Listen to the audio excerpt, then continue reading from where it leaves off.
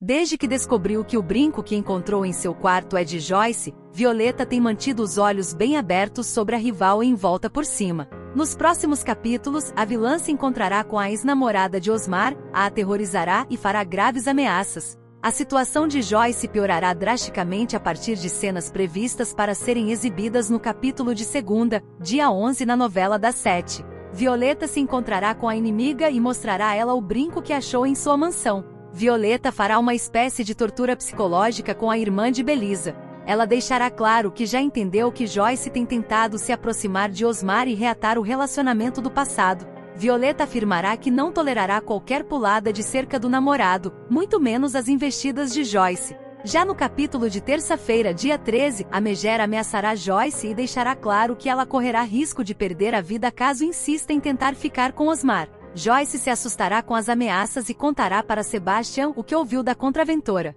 O mordomo ficará assustado com o perigo que sua amada patroa está correndo e fará algo para tentar ajudar. Sebastian procurará seu irmão Jo e pedirá que o capanga não permita que Joyce se aproxime nem de Osmar, nem de Violeta, nem da mansão em que eles vivem. Já Madalena, coitada, sofrerá traição dentro de sua própria casa. Madalena viverá dias de muito estresse, raiva e decepção nos próximos capítulos de Volta por Cima. Após descobrir que Osmar embolsou o dinheiro que Lindomar ganhou na loteria, ela se decepcionará muito com Tati. A protagonista descobrirá que a irmã está totalmente do lado do tio ladrão. Tati sempre se mostrou favorável a desfrutar dos novos luxos de Osmar, desde que ele começou a morar com Violeta e a viver uma vida cheia de riquezas. A situação, no entanto, mudará quando Madalena confirmar que o tio pegou toda a fortuna do bilhete premiado de Lindomar, um dinheiro que deveria ter ido para as mãos dela, de Tati e da mãe, Doralice. As duas irmãs passarão a se enfrentar constantemente, com Tati defendendo Osmar e Madalena o acusando de ter cometido um ato grotesco.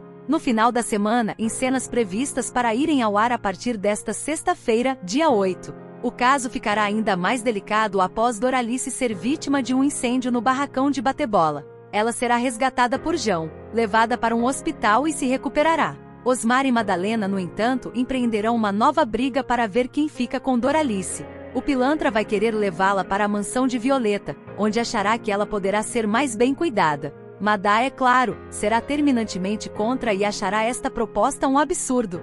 Tati, mais uma vez, se colocará ao lado do tio. Ela frequentará a mansão, adorará o ambiente e aceitará todos os presentes que receberá de Osmar. Ao voltar para casa com os mimos, será flagrada por Madá. A protagonista considerará uma traição o fato de a irmã se vender tão facilmente para o dinheiro ganhado de forma desonesta por Osmar. As duas discutirão, e o clima ficará péssimo na casa da Vila Cambucá.